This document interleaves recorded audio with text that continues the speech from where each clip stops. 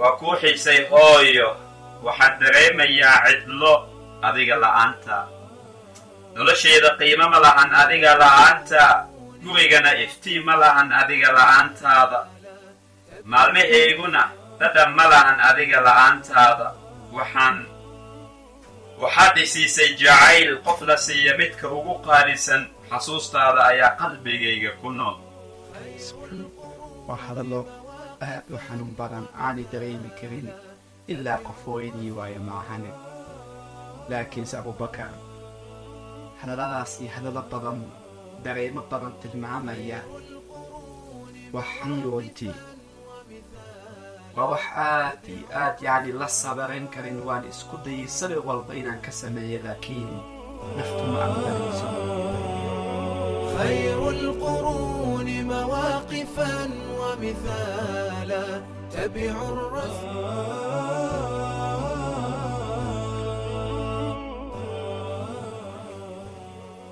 السلام عليكم ورحمة الله وبركاته.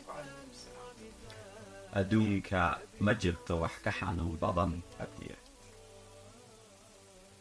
قفك إنه وايو. والدين تيسا إن hooyadiisa ay geeriyoodo xanuunkaas qofka keliya dareemi karo waa midka waayay hooyadiisa.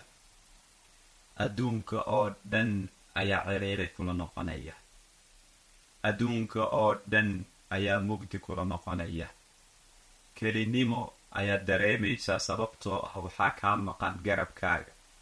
Waxaa kaa maqan qayb dhan adiga ah jaca midi jacayl ku siin jirtay midi kaa fakeri jirtay agoon ayaad noqonaysaa agoon si walba aad u weyn tahay subxaan allah waxaa jirto qoraal yar aan ku qornay buuggeena hooya macaan qoraalkaas qoraalkaas oo uu qoray qof waayay hooyadiisa wuu ku qoray qalinka ilinta. Asigoo ilmeynaya. Asigoo cabiraya xiisitaanka uu u xiisay hooyadiisa. Waan kuu xiisay hooyo waxaan u xiisay wejigaaga quruxda badnaa. Waxaan u xiisay hadalkaagii dabacsanaa.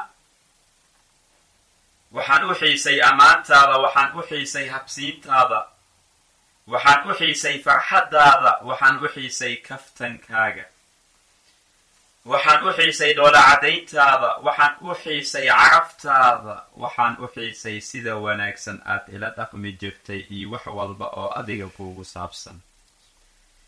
Waa kuu xiisay hooyo waxaan dareemayaa cidlo adiga la'aanta. Nolosheeda qiimo ma lahan adiga la'aanta. Gurigana iftiin ma lahan adiga la'aantaada maalmaheeguna dhadhan ma lahan adiga la'aantaada. Waxaan waxaad isiisay jacayl qof la siiya midka ugu qaalisan xasuustaada ayaa qalbigayga ku nool.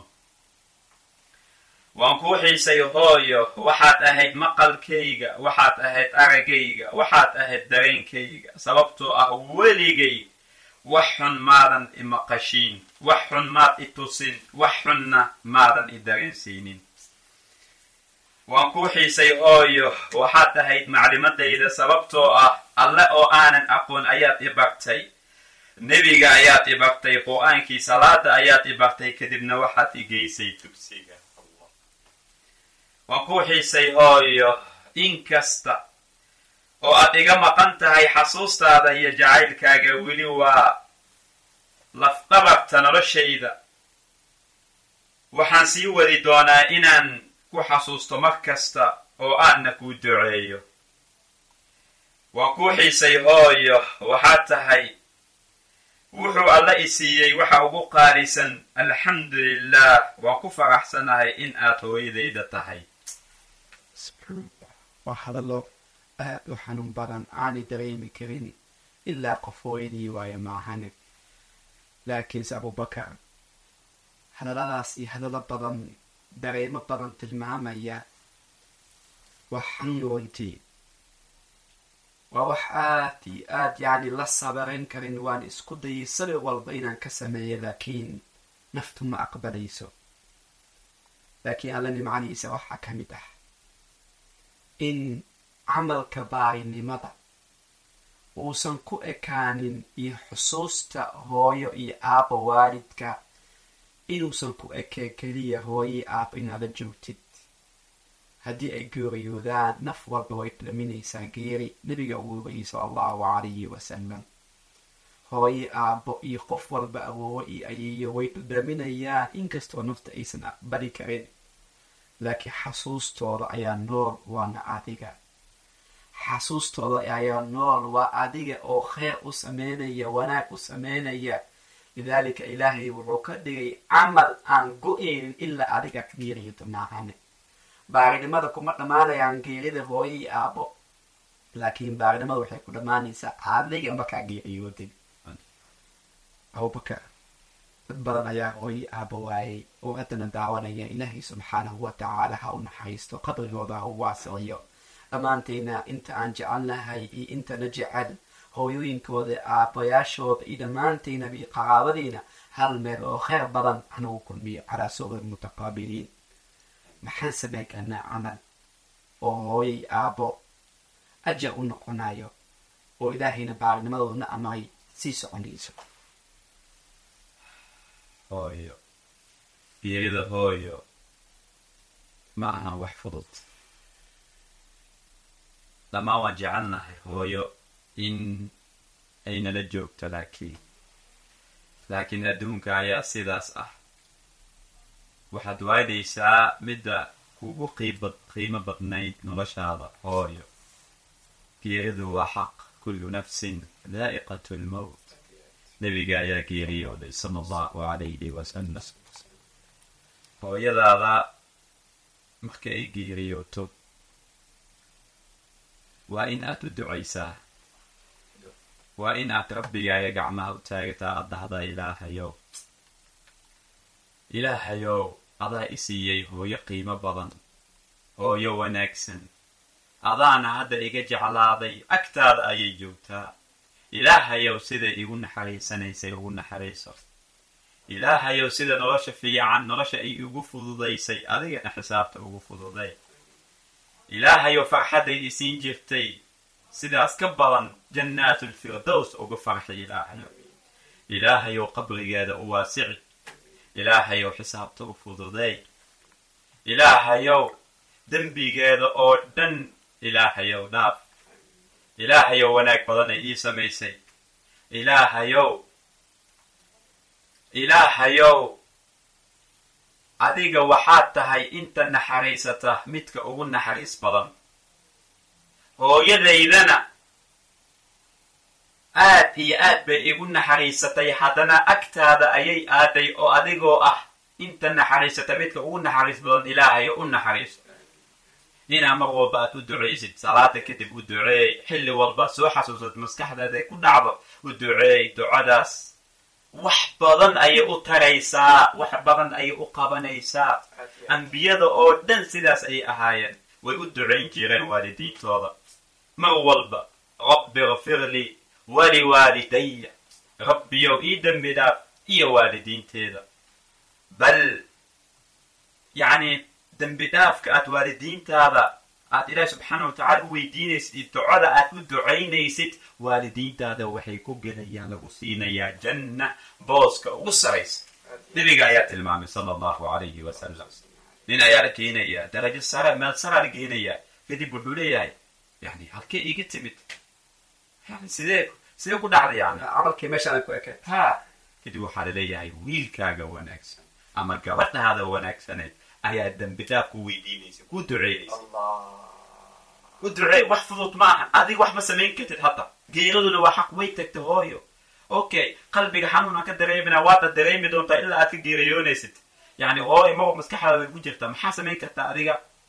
u duceey duco duco istikfaar mar walba ilahay dambi dhaaf weydii duco xilli walba yani inaad u duceysid u duceey qof walba waxaa dhahda u duceey dadkanana ha u duceeya ducadaas wax badan muslimiinka aad iyo aad lidaalika nebiyada oo dhan ilaah baa ku shekina baaqimas fi suurat alaxqaaf in ربي أوزعني أن أشكر نعمتك التي أنعمت علي وعلى والدي وأن أعمل صالحا ترضاه دعوينkaasi ku celi celi ilaahay markuu sheekayay dadkaas mu'miniinta sameynaya ducadaas u duceyn ilaa cule ulaa'ika aladiina taqabaluu waa kuwa aan ka aqbalnay camalka yani waxaan siin doonaa waxa ugu wanaagsan dambiyaduna waan dhaafi doonaa yani adiga waalkaa u duceynaysid waalkaaga khayr ay ku helaan darajadooda kor lagu qaada adigana kuwa laga aqbalay camalkooda ka mid naqanaysa rabbiga ku amray fiiri ilaa wuxuu leeyahay waqul rabbi irxamhuma ina dhahdito ilaa wuxuu dhehe ugu dheh macnaha midaqaan yaalo yaadaha ducada ilaaha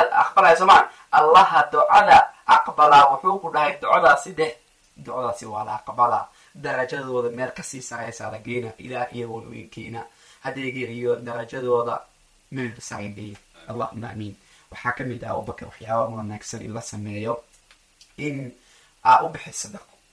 Gaar ahaan sadaqooyinka camalka jaariga ah oo khayriga ah yaad ayada qudidooday biir badan ka waraabsanayaan inaa masjid musxaf qur'aan aqrisanaa awgiis ama au dhistay in biyaha sadaqa waxaa u fadliga badan biyo haraad qof wuxuu qofku doon ha isticmaalo bini aadam aa ku nooleynaysid waxay dadka u baahan yihiin isbitaal dugsi qur'aan waxyaabaha khayriga ah oo joogtada manfaca bulsho u ah nabi sal muusha lix camal iyo saddex camalba inay yihiin sadaqa jaariya u badi iyo wixii la mid taha waxay ka mid waxyaabaha waalidka anfacaya maxaa kale ah sidoo kale waxaa ka mid ah asxaabtooda waalidiintaada dadka ay garanayeen inaa wanaajisid asxaabta waalidiintaada waalidiintaada markay noolaayeen asxaab iyo family daday lahayn in aad wanaajisid mar walba cabdullaahi ibni cumar ayaa waxaa laga waraya wuxuu arkay nin oo reebaadiye ah markaas wax ayuu siiyey saxaabadu yani dadka waxay weydiiyeen waxaad u siinaysaa waxaa waxaas badan wax yar haddaad siisin reebaadiye waa uu ku filaya kaas markaas wuxuu dhahay. Ninkaana waxay saaxiibo ahayn aabahey yacni waa asi ma garanayo laakiin waxay saaxiibo ahaayeen. Aabahiis mar walba adiga asxaabtooda inaad wanaajisid.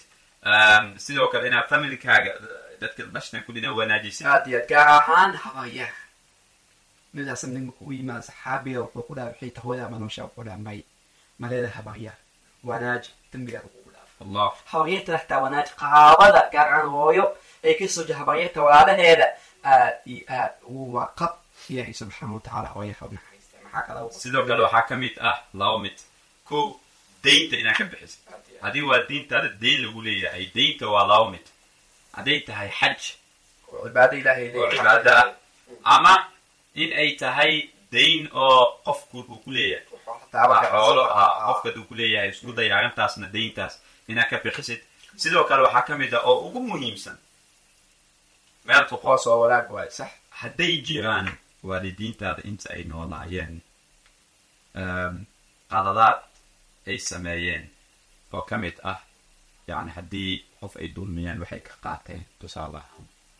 Ama hadday jiraan waalidiintaada inta ay noolaayeen ganacsi inay oo ribo ku jiro oo kale inay inay inay bilaabeen ama ay sameeyeen ama oo ilaa hadda sii socdo arrintaas isku day inaad joojisid waxaa laga yaabaa dee dembigaas oo waalidiintaada ay bilaabeen waxaa laga yaabaa in lagu cadaabayo qabriga marka muhiim xire hadday jirto qof waxay ka qaateen oo kale ama ribo badan ay- qaateen oo ganacsigaas ama waxaas ilaa hadda sii shaqeynaya oo ribo lagu bilaabay qalad lagu bilaabay hadday jiraan arrintaas isku day inaad joojisid taasna waa muhiim ilaah subxaanahu watacaala waxaan weydiisanayaa waalidiinteena inuu u naxariisto amiin in ilaah subxaanahu watacaala qabriga u waasiciyo in ilaah subxaanahu watacaala xisaabta u fududeeyo qabrigooda inuu ka dhigo rawdatan min riyaad aljanna in ilaah subxaanahu watacaala jannaat alacla jannada eh, jannooyinka halka ugu sareeya in ilaah subxaanahu watacaala uu geeyo جزاكم الله خيرا والسلام عليكم ورحمة الله وبركاته